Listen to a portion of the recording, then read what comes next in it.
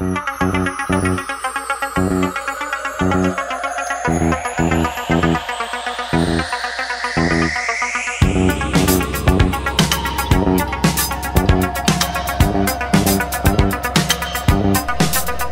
everybody, good afternoon. Welcome to your Godcast today entitled Nothing But Nets. And it's the first part about uh, two videos that are going to discuss surface area.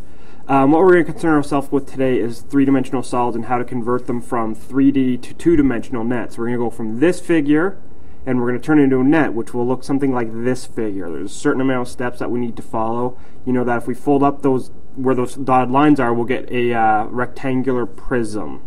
So without further ado, let's uh, let's get into this and let's get started. Okay, so here we are in a program called Geometer Sketchpad, and it's really quite handy for doing uh, things like this. Um, so as you can see, it provides us with one centimeter square dot paper, or grid paper in this case, which is something you guys have already been working with. And uh, we're going to use it to construct a net out of the figure that you see at the bottom left of your screen. That's the rectangular prism that I just showed you. It's important that we keep an eye on those dimensions because we're actually going to be using those so we construct you know, the proper size. So we're going to start with the base. That's step one. So the base is the side that the prism is sitting on. In this case, it's a 4 by 6 centimeter rectangle. So we're just going to do that. We're going to trace it out. So we're going to go 4 centimeters this way. And we're going to go 6 centimeters up. Okay, so we're at one, two, three, four, five, six. All right, and it's just a matter of closing it in. Okay, and there you go. That's our uh, that's our base.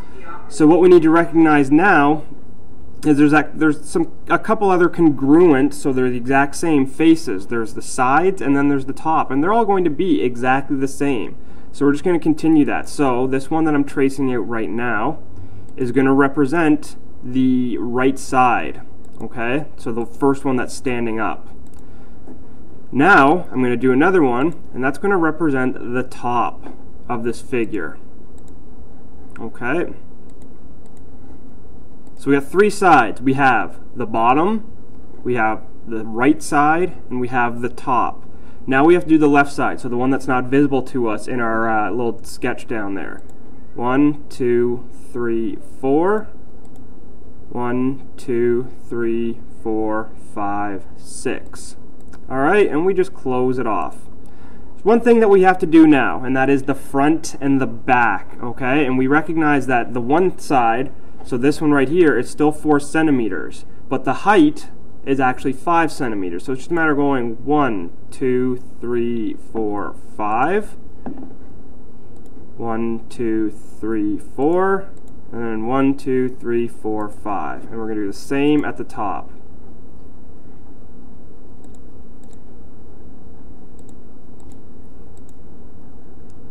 Okay, and that's what we got. Now we can even further this by putting in some dashed lines.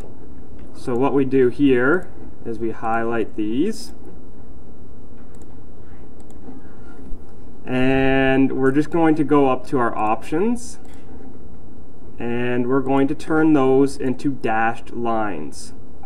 So we have our, where are they here? Display, we have line width, change them to dashed. So now we know that those are the lines that we fold on and we can actually even hide our grid and see that that is what our net now looks like. Okay, now we can go through and we can label all these sides if we want, but uh, that's going to take a little while, and that actually is a direct, you know, thing that we're going to deal with in terms of part two, which is calculating the surface area of this net. So I hope that made some sense to you. Um, it is quite simple, but again, it's a matter of visualization. Take your time, make sure your lines are nice and straight. Um, don't stress yourself out because it's not worth stressing out over. If you have any questions, that's why I'm here. Please do not hesitate to come and ask for my help. Uh, next episode is going to deal with how to calculate the surface area of that very same net. So uh, be sure to be checking back for that. It's coming up. Alright, have a great night. I'll see you guys in class and talk to you soon. Later days.